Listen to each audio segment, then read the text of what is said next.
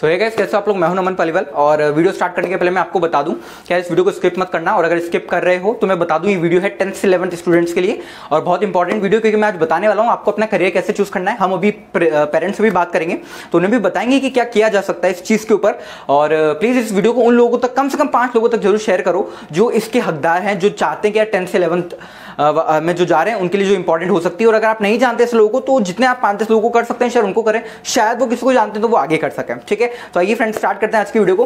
Hello guys मेरा नाम है नमन पालियाल आपका हार्दिक स्वागत करता हूँ चैनल पे। तो आज हमारे साथ पेरेंट्स भी इस वीडियो को देख रहे हैं और स्टूडेंट्स भी देख रहे हैं। सो सबको मैं कन्वर्सेशन साथ स्टार्ट करते हैं। सबसे पहले बताना चाहता हूँ कि जब आप टेंथ इलेवन जाते हो ना तो बहुत इंपॉर्टेंट फ़ेज़ है लाइफ का। हमें भी हमारे टीचर्स ने बताया था कि अभी से डिसाइड कर लें आप लोग कि आपको करना क्या है। क्योंकि इलेवंथ के बाद आपको एक सब्जेक्ट चूज़ करना होता है, उस सब्जेक्ट से आपको पूरी लाइफ चलना होता है। ठीक है? तो जब पूरी लाइफ चलना है तो सब्जेक्ट ऐसा लिया जाए जो आपके इंटरेस्ट का हो, जिसमें करने में आपको मज़ा आता हो, ठीक है, और जो अच्छा लगता हो, ठीक है।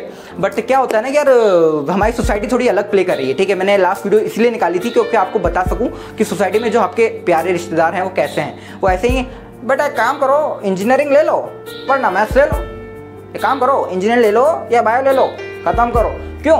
वो तीसरा और चौथा, वो भूल जाते हैं कॉमर्स भी है, वो भूल जाते हैं आर्ट्स भी है, जबकि ये सब्जेक्ट एग्जिस्ट करते हैं। ऐसा नहीं है आर्ट्स वालों की तो बिल्कुल कदर ही नहीं है। आर्ट्स कौन लेता है? बहुत ही बार ऐसे क्वेश्चन आते हैं आर्ट्स कौन लेता है? What you mean by arts कौन लेता है? आई इतने बड़े बड़े इतने अच्छे सरकारी ऑफिसर जो बन रहे हैं I S I P S ज़्यादातर आर्ट्स के स्ट्रीम से होते हैं, ना कि इंजीनियर्स एंड डॉक्टर्स होते हैं। ये चीज़ हमें दिमाग में रखनी होगी, ध्यान रखनी होगी। कोई भी काम छोटा बड़ा नहीं होता, फिल्मी लाइने नहीं बोल रहा हूँ बट एक रियलिटी से आपको प्रूव कर रहा हूँ।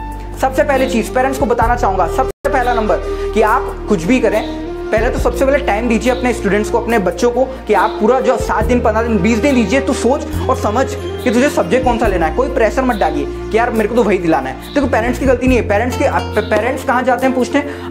अब हमारे जो इंडिया में मतलब ज़्यादातर लोग ज़्यादा नॉलेज नहीं रखते, ठीक है? आजकल तो यूट्यूब है, लेकिन फिर भी इतनी नॉलेज इस फ़ील्ड में नहीं होती। तो हम क्या करते हैं? हम रिश्तेदार के पास जाते हैं। मैं पेरेंट्स आपको बता रहा हूँ, आप क्या करते होंगे नॉर्मली आप जाते होंगे अपने पेरेंट अपने रिश्तेदार के पास, जिनका बच्चा आई आई एन आई वगैरह होता है, और बीस लाख, पच्चीस लाख के पैकेज में कहीं बैठा हुआ होता है। आप पूछते हैं क्या कराएँ बच्चे को? तो बोलते हैं, एक काम करिए, हमारा बेटा भी एन है, चौबीस लाख का पैकेज कमा रहा है। काम करिए, आप भी करा दीजिए, कोटा बेच दीजिए, कर लेगा। ऐसा नहीं होता है। आपने उनकी बात सुनी? आप सुने, घर पे आए, बच्चों को बताया काम कर बेटा तो टेंशन मत ले आईआईटी की तैयारी कर ले, निकल ले कोटा। वहीं पर तैयारी करके वहीं से आईआईटी निकल ले, बीस लाख का पैकेज ले ले। यार, इतना आसान है क्या? दिवा पुड़िए क्या यार? कुछ भी। ऐसा नहीं होता। हर किसी के काम करने की क्षमता, समझने की क्षमता माइंड मेमोरी और मेहनत करने का डिटर्मिनेशन सबका अलग अलग होता है। ज़रूरी नहीं कि आपका बच्चा उस फ़ील्ड में जाके चौबीस कमाए। ऐसा भी हो सकता है कोई और फ़ील्ड में माहिर हो और वहाँ चौबीस लाख रुपए महीने की कमा रहा हो। ये सोचना पड़ेगा। इंडिया में लोग नहीं सोचते। इंडिया में बस भीड़ चाल चल रही है। सब इंजीनियर्स बनने की दौड़ में, चलो चलो इंजीनियरिंग करो, कोटा चलो। जी, यार, आप कोटा की, जब आप अच्छी चीज़ें देखते हैं, बहुत अच्छी चीज़ें भी हैं बट आप यहाँ यहाँ के देखिए कितने सुसाइड्स होते हैं। सुसाइड्स क्यों होते हैं?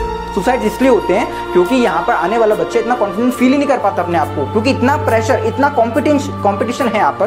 कि वो एक कॉम्पिटिशन में भाग, वो डर वो डर जाता है, इतने बच्चे में कैसे स्कोर करूँगा? और वो ऐसा इसलिए होता है क्योंकि बहुत सी बार ऐसा तो सब्जेक्ट ही आपने उसे गलत दिला दिया। कोटा भेजने में गलती नहीं है, मगर कोटा ऐसा सब्जेक्ट लेके उसको भेजो जिसमें वो इंटरेस्ट रखता है दैट्स इट तो दूसरा चीज़, रिश्तेदार से नहीं पूछेंगे। पहला, बच्चों को टाइम देंगे। तीसरा बात करने वाला हूँ कि आप लोग जब उसे बोल रहे ना कि काय की तैयारी करनी, चारों सब्जेक्ट रखी, ये नहीं कि मैथ और साइंस रख दी चल बेटा मैथ करना है कि बायो करना है। हमारे केस में अलग था, हमारे केस में वो जो भी मैंने आपको केस बताया सेम मेरे साथ था। आपके भैया है, आपका इतना तक निकला है आप भी ले लो और आप भी निकल लो। आज मुझे इस चीज़ का दुख नहीं कि मैं इंजीनियरिंग कर रहा हूँ बट इस चीज़ का दुख है कि पूरे ऑप्शंस मुझे नहीं दिखाए गए। मुझे ये नहीं बताया गया कि आप चार सब्जेक्ट मुझे पता था चार सब्जेक्ट होते हैं बट वही भीड़ चाल में हम भी चल दिए। ये गलती करने से बचनी है। तीन पॉइंट हो गए, चौथा।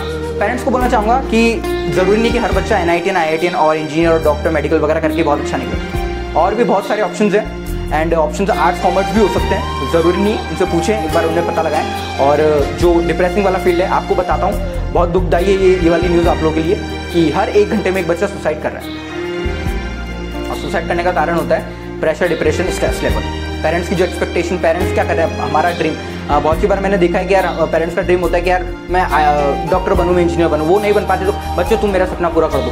यार, आपका सपना अच्छी बात है, वो पूरा करें, लेकिन उसका मन है या नहीं, पहले इतना पूछ लें। और अगर चलो, ठीक है, उसका भी सपना है, आपका भी सपना है, और वो काम भी कर रहा है तो फिर उसको प्रेशराइज करने का मीनिंग नहीं है कहीं से कहीं तक। कि यार, तुम करो। मेरे मेरे सीन मेरे साथ ये सीन था, जो मतलब मेरे पास ऐसा कोई प्रेशर नहीं था, पढ़ना है पढ़ना है। मैं पढ़ता तो था नॉर्मली दिखता था, सबको मेहनत करता हूँ। और कहीं ना कहीं बाहर के कुछ लोगों ने बहुत ज़्यादा कुछ कहा भी है कि यार तू नहीं पढ़ता या तू क्यों नहीं करता। मालूम तो उनको भी था कि पढ़ रहा हूँ बट मालूम उनको ये था कि इसका माइंड स्लो है। ठीक है यार स्लो है। बट आज कम से कम इस कैमरे के सामने आँख से आँख मिला के आप लोगों को समझा सकता हूँ, इतना कॉन्फिडेंस है, क्योंकि किया हुआ है, मेहनत की हुई है, बता सकता हूँ। कोटा की लाइफ आसान नहीं है, कोटा में आपको बताता हूँ पेरेंट्स यहाँ पे जब आप अपने बच्चे को भेजेंगे तो मॉर्निंग में दो आठ बजे क्लास शुरू होती है दो बजे तक होती है।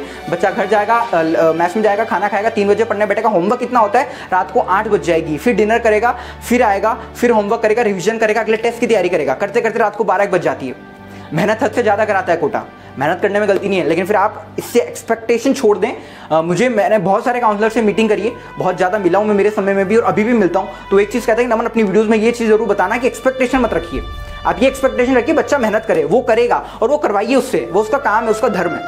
लेकिन एक चीज़ याद रखिए, उससे एक्सपेक्टेशन मत रखिए कि वो एयर वन ला के दे आपको।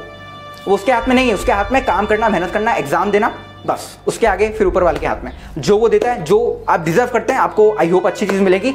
और आई होप आप लोगों को वीडियो अच्छी लगी तो प्लीज़ जाकर के अगर अच्छी लगी तो शायद इस वीडियो से किसी की मदद हो सकती है। तीन बता चुका हूँ समराइज करता हूँ फटाफट से। सबसे पहला, आपको रिश्तेदारों से नहीं पूछना है। दूसरा टाइम देना है बच्चों को अपने अकॉर्डिंगली उनको बोलिए कि अपने हिसाब से तुम चूज़ करो। फ्यूचर तुम्हारा है, तुम्हें लेकर चलना है पूरी ज़िंदगी भर। तुम सोचो, समझो और फिर काम करो।